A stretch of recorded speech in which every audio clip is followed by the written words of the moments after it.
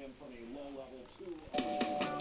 the radio studios of America, the technicians, the entertainers, the commentators, the administrative personnel daily unite their efforts in the creation of programs to please and entertain the vast radio public.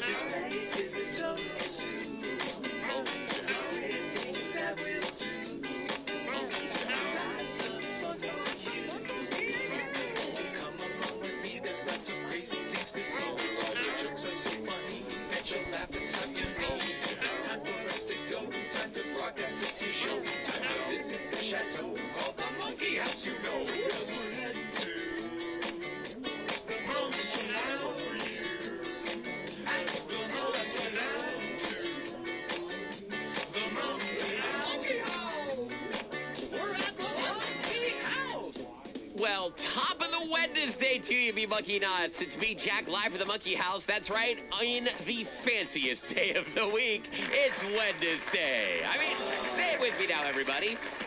Wednesday. Woo! Just sounds fancy, doesn't it? So much better than saying, okay, now, I don't really want to say this, but I'll say it just for uh, illustrative purposes.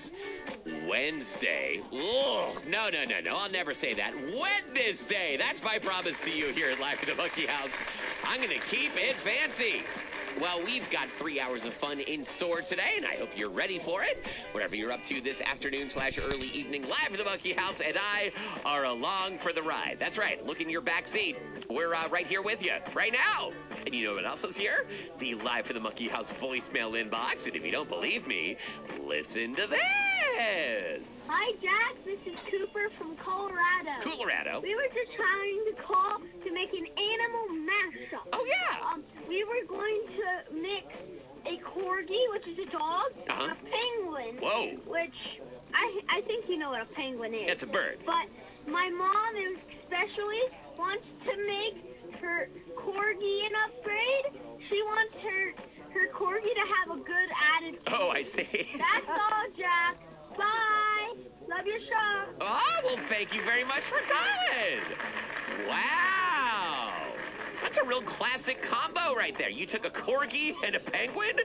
You know, it's kind of like peanut butter and chocolate, or uh, cookies and milk, or um, uh, what else? Uh, a cereal and milk. Actually, a lot of things make a classic combo with milk, if you think about it.